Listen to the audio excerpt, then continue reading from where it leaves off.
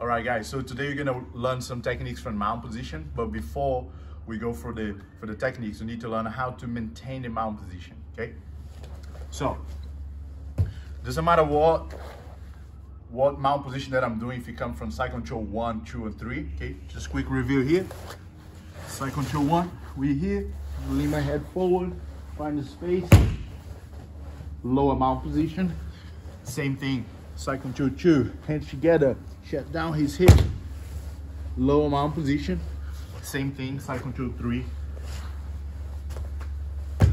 Mount, low mount position. Why low mount position? Because that's the part of his body you're gonna use after getting mount position. You're gonna use most to try to hip escape and bridge. That's that's a fact. You can't deny trying to attack the next straight straight after you get in mount position you will be not resolve the problem because he really gonna put effort to bridge and hip escape. Okay, so every time when you get the mount position, one detail that I like to use here, when he bring his foot close and I can't cross my feet under, I kick his legs away and move back. I try to go as slow as you can. Now I like to cross my feet or stretch my legs on his shin like that. That's a very common as well. Uh, we see people in competition doing this, those two moves, okay? So if his ankle's close to his butt. Right now on the middle mount, this mount here is not, I don't recommend that for if you wanna wanna control, when you wanna uh, stop someone trying to skate. So control the head, low mount or high mount, okay? I'm gonna kick his leg, low mount position, cross my legs, or stretch my, my feet here on his shin, okay? So you gotta control my hips as well, the way how I drive my hips and curl my hamstring, that's how you're gonna put a lot of pressure on his hips, not allow him to bridge so easily. Try to bridge that. So I'm shutting down the, the bridge. Now, I will try to find a way to get the underhook, but his arms are very nice and strong here. So what I'm gonna do, I'm gonna open him up, controlling with my right arm under his neck. And now we will try to set up the Ezekiel. The Ezekiel is one of the simplest uh, and strongest submission from mount position because you don't need to deal with the arms.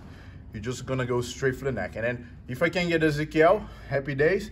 If I can get Ezekiel, if I fret him with Ezekiel, he will probably open his elbow. Then I can make the transition to, to higher mount position. I'm gonna show you guys now. So if I can get Ezekiel here, shutting down, you're gonna open his neck, I'm gonna catch the, the sleeve, one of my sleeves for four fingers, never three, always four. And now create space, pushing my cheek on his cheek, and I'm gonna connect my hand on his neck. It's not on the right spot yet, but I will start bothering him and moving my wrist like this. That will direct him to react in the way that I'm expecting, which is gonna be the bridge. When he bridge, he open up his neck a little bit more, then I can go for, for the finish. Okay, one more time.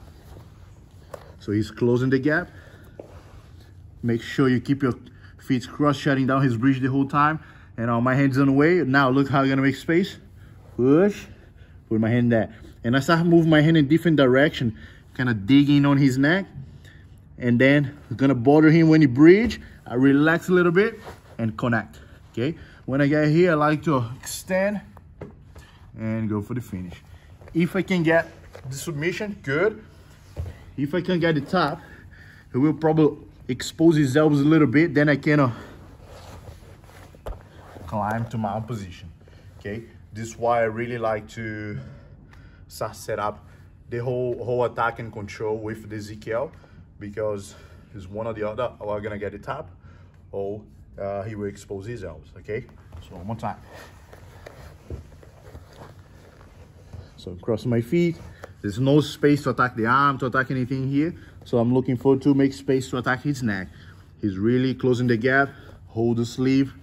Connect your hand there. Now look my head. I'm gonna push. Pull your hand or start dig your hand inside.